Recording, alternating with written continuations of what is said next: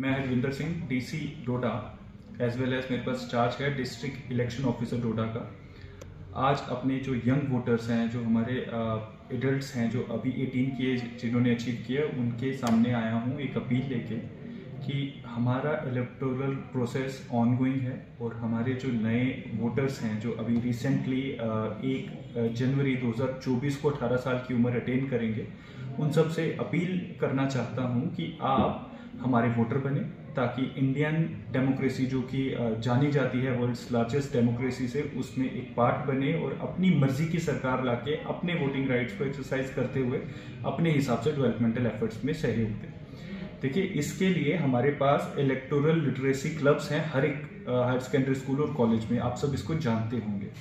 इन electoral literacy clubs का फ़ायदा उठाते हुए हमने काफ़ी डिबेट्स काफ़ी प्रोग्राम्स आपके बीच में इस अवेयरनेस के लिए ऑलरेडी किए हैं और आगे भी करने वाले हैं।